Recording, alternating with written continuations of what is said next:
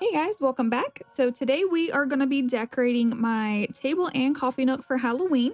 So starting out, of course, clean the table off, putting a new tablecloth on. This is like one of those vinyl tablecloths with like the felt underneath. Um, I think I got it from Walmart last year. Um, the dish rack that I just put on the table, actually, I got on or got for clearance this year at Kirkland's. Um, it actually holds the full size plates um, so the black ones are the ceramic plates, and then the white ones are the melamine or whatever those like hard plasticky ones. Um, and of course, it does also hold the full size mugs, which is awesome because normally the ones I do see full size mugs just do not fit there.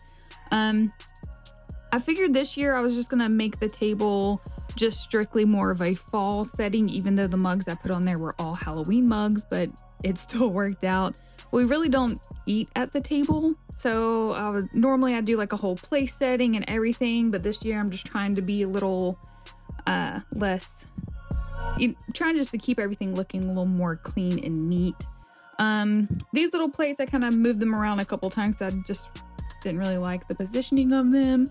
Um, but overall, definitely like it. Again, really clean, simple, nothing crazy. I am gonna try and find some flowers to put in that enjoy uh, picture. Definitely like it. It's so much cuter in person. But overall, so this is the table setting for fall. All right, so this is my coffee nook. So of course, this is like I still had to sign up there from the Fourth of July, whatever. um, so of course, started out by taking everything off of the coffee nook so I could wipe everything back down. Um, for the most part, it stays pretty clean and wiped down over there. Although the coffee pot area was kind of nasty. There's so many like coffee grounds and just spilled coffee underneath that piece of granite that I'm picking up and that oh yeah it was it was kind of nasty. Um but that thing's so heavy I don't really move it very often unless I'm redoing it. Um but either way just you know cleaning everything off. Um of course taking all the mugs down gonna switch those out for um some more Halloween mugs. Um, those hooks are cast iron hooks that I got from Hobby Lobby. Uh, of course, taking all this stuff off of the top shelf. I haven't really changed that out since the January, I think, whenever I took everything down from for Christmas. Um, of course, just dusting everything off as I am taking everything down. And it was actually pretty dusty up there, and there was like little cobwebs.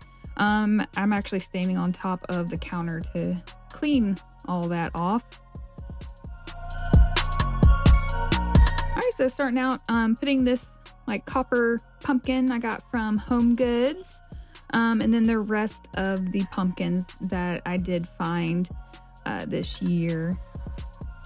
Again, I was trying to make everything just kind of a little clean and simple. I did add the one Halloween canister. I got that one, um, I think three years ago. Um, and I'm putting this little garland that I got from Michael's last year. I like it because it's it's simple, it's clean, it's not too bulky. Um, overall, definitely love how this little top shelf turned out. It definitely screams fall to me. We're a little bit of Halloween. Um, this sign I got from Michael's as well. Um, the happy pumpkin spice season. Even though I'm not even a huge fan of pumpkin spice, I'm more of a the salted caramel type of gal. Um, that warmer light is actually a Scentsy warmer I got last year. So that was the last year's um, Halloween house. Um, I went ahead and cleaned the coffee pot and I figured since I cleaned it, might as well do a clean run cycle. So of course, putting the vinegar, letting that thing do. So it was burning my nose hairs as I was finishing up putting everything back um, on the countertop. So I did switch out a couple of things. These little guys, you'll see where I put them in a second. They're like little ghost garland. Um, so putting all my black mugs back, um, I really don't have that many of them, but I did go ahead and replace some a lot of the white mugs with some Halloween ones. Um, ended up putting this little topper I made last year on my new mug that I found the fall, y'all.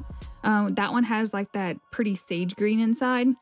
Anyways, well, hopefully you like this video. Uh, give it a thumbs up and subscribe. And then I'll see you in the next one where I'll be redecorating my living room. Thanks, guys.